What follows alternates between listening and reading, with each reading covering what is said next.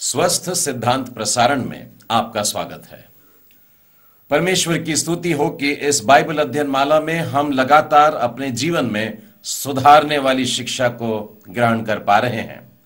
बीते नौ सप्ताह से हमारे मनन का विषय है योजना बनाना प्लानिंग पवित्र शास्त्र से हमने बहुत सारे उदाहरण और पाठांशों को दे दे करके यह समझाया है कि योजना बनाना या निर्णय लेना कितना ज़रूरी है और यह हमारे जीवन पर किस तरीके से असर करता है। यदि हमने कोई गलत निर्णय ले लिया है तो हम पर भी असर करता है और हमसे जुड़े लोगों से भी असर करता है। हमारे गलत निर्णय हमारे पृथ्वी पर के छोटे से जीवन पर हम पर दुष्परिणाम तो लाते ही हैं इसके साथ साथ हमारी नियति भी यही तय करते हैं। अब तक हम लोगों ने इस विषय पर नौ पाठ सीख चुके हैं। अब till now we have studied nine lesson on how not to plan they are lesson number one do not ignore the general Bible teaching पहला पार्ट जो हमने सीखा था, वो था कि बाइबल की सामान्य शिक्षा की उपेक्षा न करें।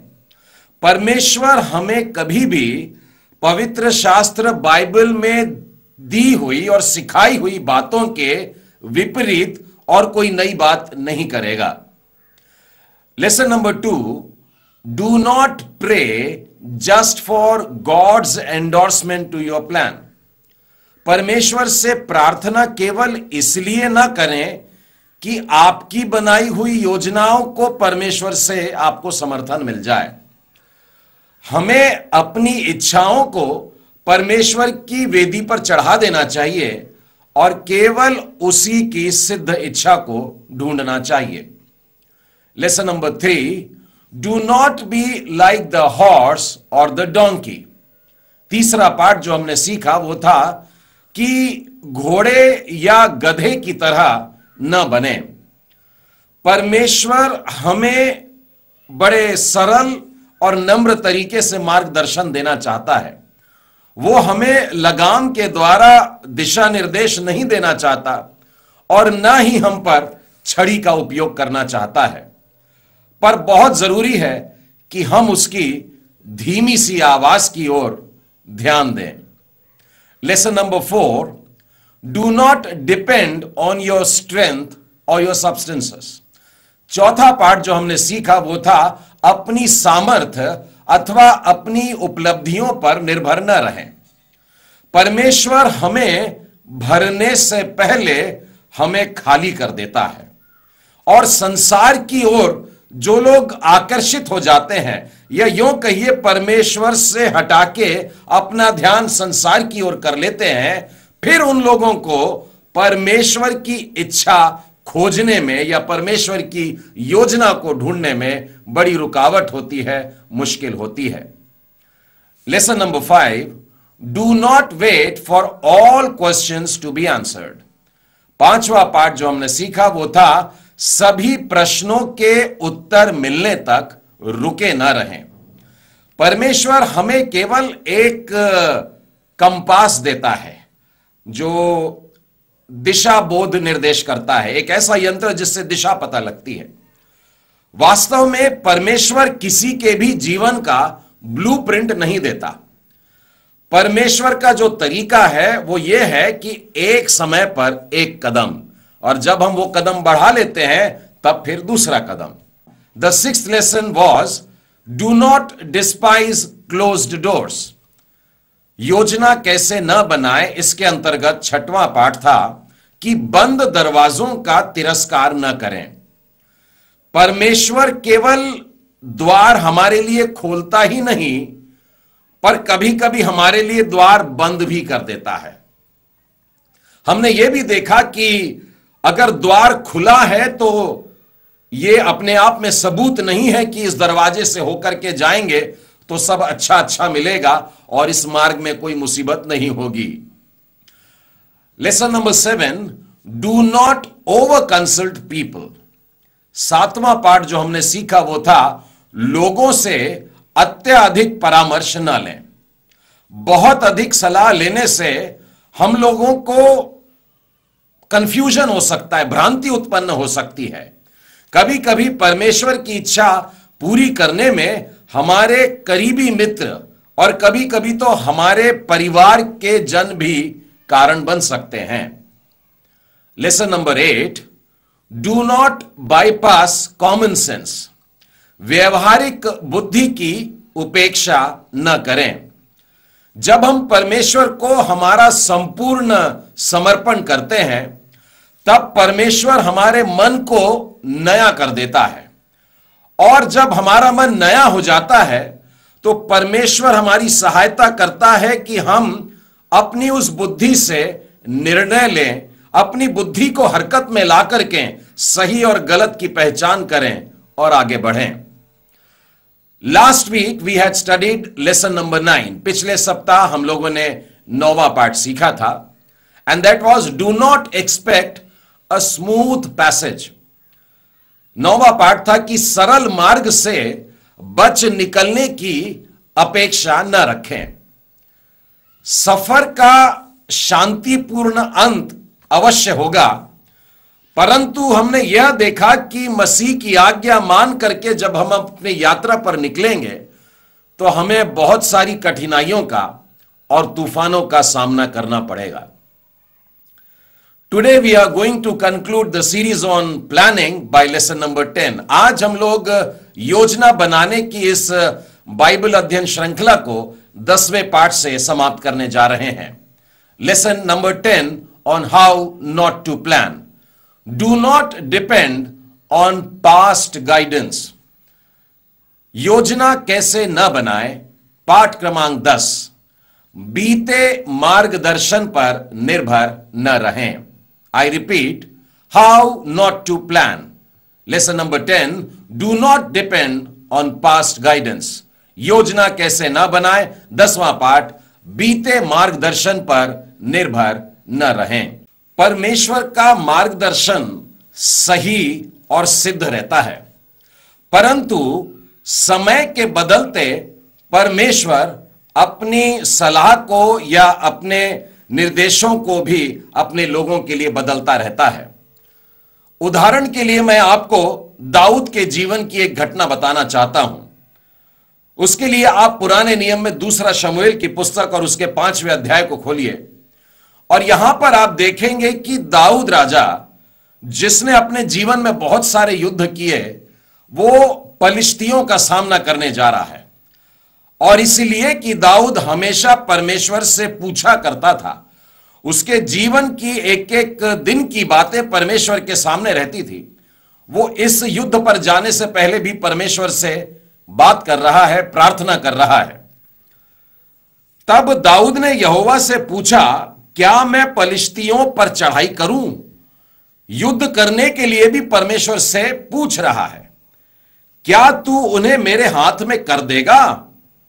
यहुआ ने दाऊद से कहा, चढ़ाई कर, क्योंकि मैं निश्चय पलिश्तियों को तेरे हाथ कर दूँगा।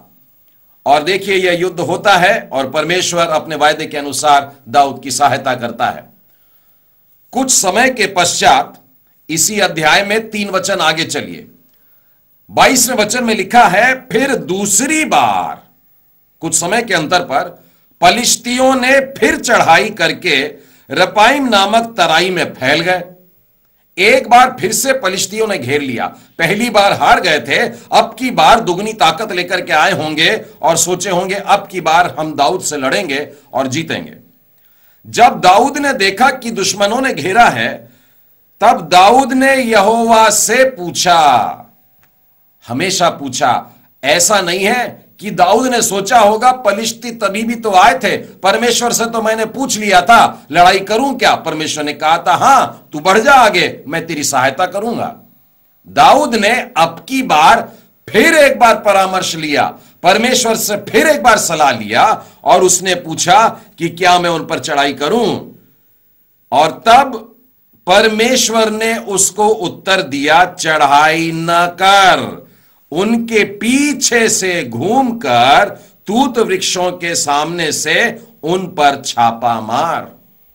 परिस्थितियाँ बिल्कुल सरीखी हैं। दाऊद यहाँ है, पलिश्ती वहाँ है। दूसरी परिस्थिति में हम देखते हैं, फिर से दाऊद है और पलिश्ती है। दोनों परिस्थितियों में युद्ध होने वाला है।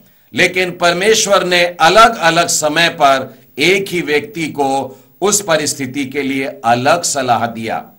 इससे हमें यह भी पता लगता है कि हमें अपने पिछले मार्गदर्शन पर निर्भर नहीं रहना है, परंतु प्रतिदिन परमेश्वर के सम्मुख जाना है। बिल्कुल वैसे जैसे दाऊद परमेश्वर से हर बार एक ताजी सलाह मांगा करता था, हम भी परमेश्वर के सम्मुख प्रतिदिन ऐसा ही मांगा करें। और यही कारण है कि प्रेरितों के काम में आप तेरहवें अध्याय में अगर देखें तो दाऊद के विषय में लिखा हुआ है, ईशय का पुत्र दाऊद मेरे मन के अनुसार मिल गया। उसके लिए कहा जाता है कि he was a man after God's own heart और अपने जीवन काल में छत्तीस वचन में लिखा है, वो परमेश्वर की इच्छा के अनुसार चलने वाला मनुष्य बना। यही बात और यही नाम हमें भी मिल जाए तो कितना अच्छा कि हम परमेश्वर की इच्छा के अनुसार चलने वाले लोग हैं। पर उसके लिए हमको प्रतिदिन, चाहे परिस्थिति वैसी ही क्यों ना हो, लेकिन पिछले मार्गदर्शन पर निर्भर रहकर नहीं, परंतु परमेश्वर की ताजी सलाह लेने के लिए हमको आगे बढ़ना चाहिए। एक और उत्कृष्ट उदाहरण मैं आपको पुराने नियम में से देना चाहता हूँ। और यह हमको मिलता है उत्पत्ति की पुस्तक में और व्यक्ति का नाम है हाजिरा। आप जानते हैं हाजिरा कौन है? अब्राम के घर में यह एक दासी थी और उस समय हालत ऐसी थी कि अब्राम की कोई संतान नहीं थी और सारे ने जो उसकी पत्नी थी, उसको अपनी दासी दे दी।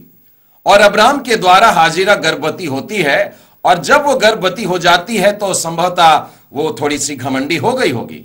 यह बात सारे को अच्छी नहीं लगी और सारे उसको दुख देने लगी। इस दुख के कारण हाजिरा परेशान हो गई और एक दिन वो वहाँ से भाग जाती है। लिखा है, छठवें वचन में, तब सारे उसको दुख देने लगी और हाजिरा उसके सामने से भाग गई। तब यह हुआ कि दूत ने हाजिरा को जंगल में शूर के मार्ग पर जल के एक सोते के पास पाकर के कहा, देखिए परमेश्वर क्या कह रहा है, हे सारे की दासी हाजिरा, तू कहाँ से आती है और कहाँ को जाती है? हाजिरा ने कहा, मैं अपनी स्वामिनी सारे के सामने से भाग आई हूँ। यहोवा के दूत ने उससे कहा, अपनी स्वामिनी के पास लौट जा और उसके वश में रह। परमेश्वर हाजिरा को अपने दूत के द्वारा यह सलाह दे रहा है। परिस्थिति क्या है कि हाजिरा को उसकी मालकिन सारे सता रही है और वो वहाँ से भाग गई है, लेकिन परमेश्वर कह रहा है, तू वापस चले जा। अब देखिए, कुछ समय के बाद में इसी हाजिरा के साथ में कैसी घटना घटती है। उत्पत्ति के 21वें अध्याय में, यह ऐसी परिस्थिति है जहाँ पर हाजिरा को पुत्र हो चुका है इस्माइल उसका नाम है, और उसके बाद में हम देखते हैं कि इसहाक का भी जन्म होता है, लेकिन इस्माइल जो थोड़ा बड़ा है, एक दिन कुछ चिड़ा रहा था, और यह बात सारे को अच्छी नहीं लगी, और वो गुस्सा हो गई, और वो अब्राहम के पास जाकर के कहती है, इस दासी को उसके पुत्र के सहित निकाल दे। अब्राहम को यह बात अच्छी नहीं लगी और वो परेशान हो गया कि एक जवान लड़का है, मैं कैसे भेजूं? ये धनुधारी भी है, बहुत अच्छा है। लेकिन अपने मन में उसके द्वंद्व चल रहा था। लेकिन देखिए, परमेश्वर अब्राहम से क्या कहता है? उस लड़के और अपने दासी के कारण तुझे बुरा न लगे। जो बात सारा तुझसे कहे, उसे मान ले। और फिर ऐसा होता है कि अब्राहम अपने दासी हाजिरा को और इस्माइल को जंगल की ओर भेज देता है। परिस्थिति वही थी, सताई जा रही थी। अभी भी सताई जा रही है, निकलना था। जब खुद होकर के निकली तो परमेश्वर ने उसको वापस घर भेज दिया। और जब घर में आकर के अभी है तो परमेश्वर उसको वहाँ से निकलवा रहा है। परमेश्वर हमको अलग अलग समय पे अलग अलग तरीके से मार्गदर्शन देता है। अभी हमने जो देखा, वहाँ पर एक एक व्यक्ति को मार्गदर्शन देने की बात थी। लेकिन बाइबल में हम यह भी पाते हैं कि परमेश्वर ने अपनी प्रजा को, एक समूह को, एक बड़ी संख्या के लोगों को भी अलग अलग समय पर अलग अलग तरीके से मार्गदर्शन दिया है। निर्गमन की पुस्तक में आई और उसके चालीसवें अध्याय में, और उसके अड़तीसवें वचन को आपको पढ़ करके सुना रहा हूँ। इसराइल के घराने की सारी यात्रा में चालीस साल की यात्रा की है उन्होंने। मिसर से निकल करके कनान को जा रहे हैं। चालीस साल, दिन को तो यहोवा का बादल निवास पर और रात को उसी बादल में आग उन सबों को दिखाई दिया करती थी। परमेश्वर ने अपने लोगों को बड़े अद्भुत रीति से लेकर के चला। उनकी अगुवाई किया, उनके संग संग रहा। बाइबल कहती है, दिन में भी रहा, रात में भी रहा।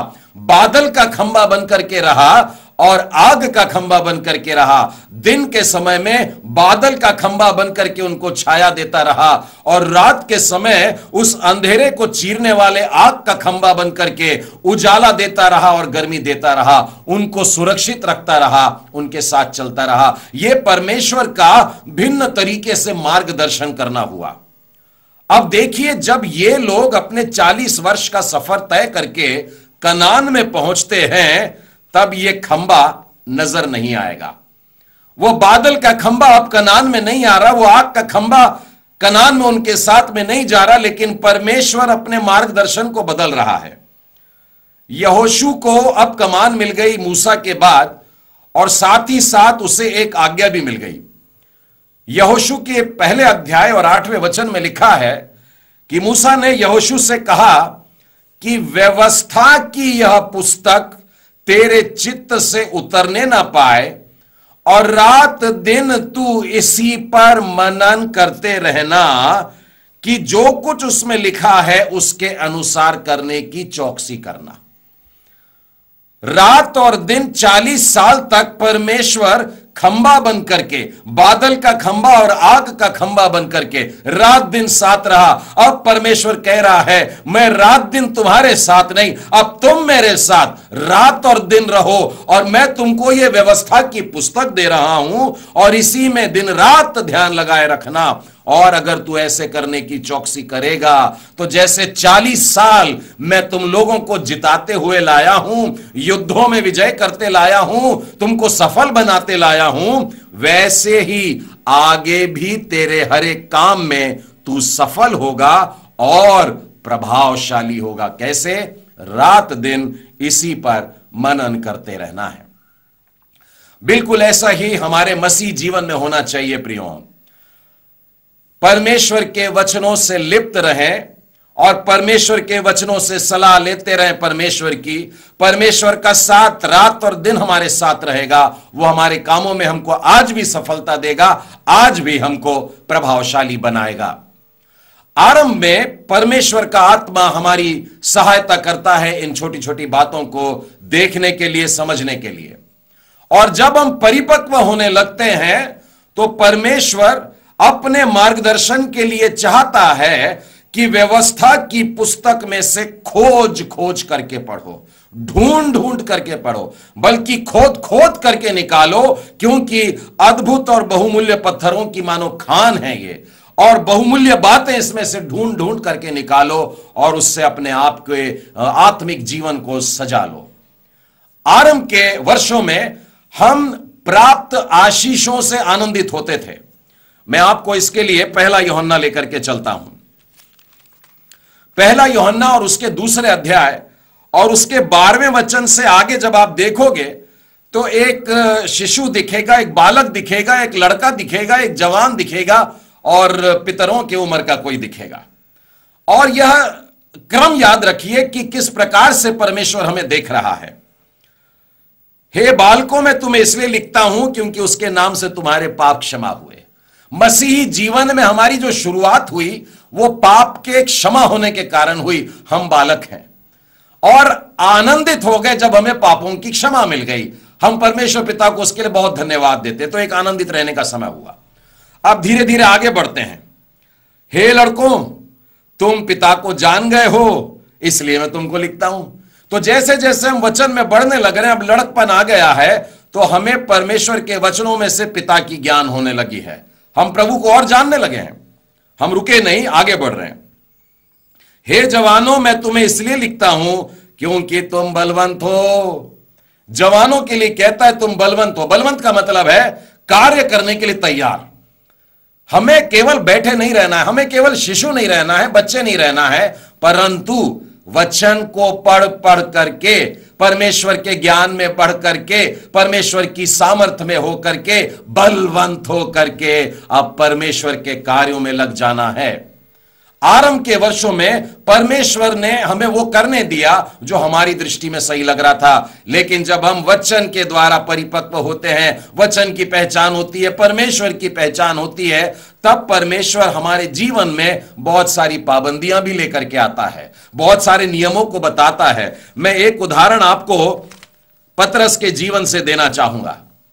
पत्रस के जीवन को हम योहन्ना के 21वें अध्याय के 18वें वचन में देखिए।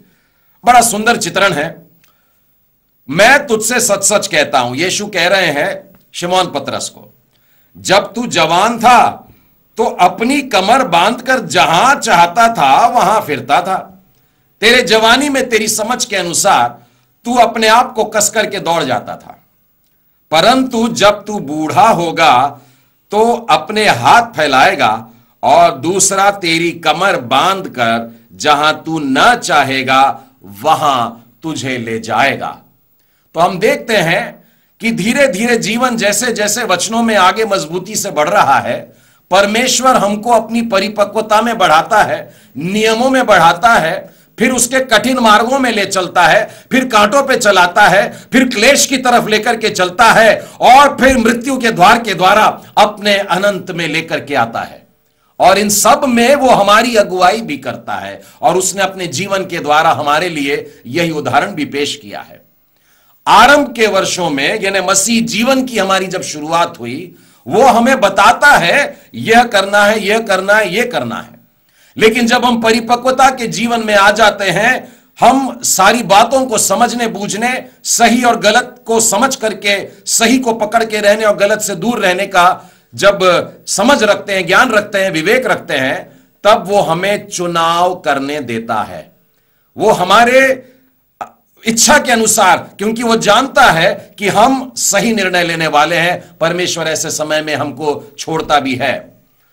इस सच्चाई का एक पहलू याद रखिए कि परमेश्वर का मार्गदर्शन हमें जो प्राप्त होता है, वो उसी अनुपात में होता है कि जितना प्रकाश हमने परमेश्वर से पाया है। इसका उदाहरण मैं देना चाहूँगा प्रेरितों के काम के सत्रहवें अध्याय और तीसरे वचन में। परमेश्वर ने अज्ञानता के समयों पर ध्यान नहीं दिया, पर अब हर जगह सब मनुष्यों को मन फिराने की आज्ञा देता है। आरंभ में, छुटपन में चलता था, लेकिन अब जब हम जानते हैं इन बातों को तो वो करने नहीं देगा। परमेश्वर की आज्ञा हमें संभाले रखेगी और वो जो भटकते हैं, उनको मन फिराने के लिए भी कह रहा है। परमेश्वर इस तरीके से अलग अलग समय पर अलग अलग तरीके से मार्गदर्शन करता है। मैं आपको इब्रानियों की पुस्तक और उसके पहले अध्याय के पहले दो वचन भी बताना चाहूँगा। पूर्व युग में परमेश्वर ने बाप दादों से थोड़ा थोड़ा करके और भांति भांति से भविष्य वक्ताओं के द्वारा बातें की। पहले परमेश्वर के बात करने का तरीका अलग था। वो थोड़ा थोड़ा बोलता था भांति भांति से बोलता था और भविष्य दोक्ताओं के द्वारा बातें करता था। लेकिन अब बदल गया। इन अंतिम दिनों में हमसे पुत्र के द्वारा बातें करता है जिसे उसने सारी वस्तुओं का वारिस ठहरा दिया और उसी के द्वारा उसने सारी सृष्टि की रचना भी की है।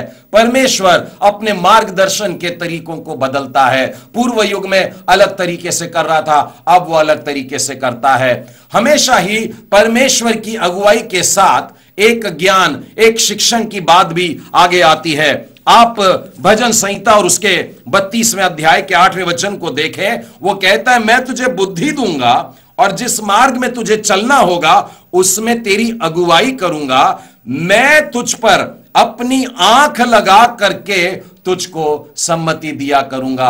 तू चाहे जिस दिन में जा रहा है, तू चाहे रात के अंधेरे में जा रहा है, तू जहाँ जा रहा है, तू पहाड़ों पर है तो मैं वहाँ पर तुझको सम्मति दूँगा। तू तराई में चल रहा है, मैं तुझको सम्मति दूँगा। मैं तुझको सलाह दूँगा। जब तू राजा के सामने जाकर के खड़ा होगा तो मैं तुझको सलाह दूँगा। जब तू युद्ध करने के लिए निकलेगा, तब तुझको सलाह दूँगा। हर जगह पर परमेश्वर मुझे सलाह देने को तैयार है। यहाँ तक कि परिस्थिति अलग अलग रहे तो भी सलाह देगा, परिस्थिति एक समान भी रहे तो भी मेरी दायित्व है कि मैं जाके परमेश्वर से मांगू कि प्रभु बता कि इस समय तू क्या सलाह देता है। और जब हम परमेश्वर के सम्मुख ऐसे आते हैं तो परमेश्वर हमें एक एक पाठ सुनाता है। एक के बाद एक पाठ देता है, एक सबक के बाद में दूसरा सबक देता है, और इस प्रकार से हम मसीह जीवन में लगातार उसकी अगुवाई को पाकर के बढ़ते जाते हैं। जिस प्रकार से एक दिन में 24 घंटे होते हैं, और प्रकाश और अंधकार का समय होता है, बिल्कुल वैसे ही हमारे जीवन में भी अलग अलग प्रकार के मौसम आते हैं। दुख का समय आता है, सुख का समय आता है मैं आपको सबोपदेशक के तीसरे अध्याय से बताऊँगा। वहाँ पर लिखा है, हर बात का एक समय होता है, प्रत्येक काम का जो आकाश के नीचे होता है एक समय है। आपको समय मिलेगा तो आप इस तीसरे अध्याय के प्रारंभिक आठ वचनों को देखिएगा। जन्म का समय, मरने का समय, बोने का समय, कटाई का समय, घात करने का, चंगा करने का, ढा देने का, बनाने का, हंसने का, रोने का, एक लंबी सूची है और इन सारे वचनों का जो समापन है, वो ग्यारहवें वचन में मिलता है। परमेश्वर ने सब कुछ ऐसा बनाया कि अपने अपने समय पर वे सुंदर होते हैं। परमेश्वर हमें अद्भुत रीति से अगुवाई करता है। सेवकाई के विषय में भी दो शब्द कहना चाहूँगा कि जब अपने शिष्यों को उसने सेवा करने के लिए भेजा था तो जब यहूदियों के बीच में भेजता है, अपने प्रजा के बीच में भेजता है, तब उनसे कहता है, अपने साथ में पैसा लेने की ज़रूरत नहीं, थैली की ज़रूरत नहीं है, तुम्हारी देखरेख वो खुद ही कर लेंगे। लेकिन अन्य जातियों में जब मिशनरियों ने प्रचार करने के लिए निकला, उस समय योहन्ना के तीसरी पत्री के सातवें वचन में हम पाते हैं कि मिशनरियों ने कभी भी अन्य जातियों से कुछ नहीं लिया। परमेश्वर एक ही परिस्थिति में दो व्यक्तियों को अलग अलग तरीके से भी मार्गदर्शन कर सकता है। हाउ नॉट टू प्लान योजना कैसे न बनाए? Do not depend on past guidance बीते मार्गदर्शनों पर निर्भर न रहें। परमेश्वर पिता आप सबों को आशीष दे।